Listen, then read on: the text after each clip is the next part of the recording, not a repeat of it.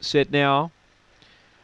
Ready, away. Good line out here. There's speed the inside from Raven Sky. Moving up Hilaria the outside. Uh, it's getting tight, getting over Aston Fabio. Uh, another Maze in trouble. So was Springvale Paris and so was Alpha Caster. So down the back, Raven Sky by four to in second Aston Fabio. Uh, Hilaria ran on. Wider out was Victor Jack from Victor Ollie. Then came another May finally getting going. And a mile back to Springvale Paris. But if you're on the red Raven Sky, go and get in the queue. It's going to win by about three.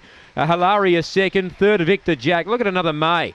Uh, got wiped out early and flashed home to run fourth. Then came Victor Springvale Paris, I should say, from Aston Fabio.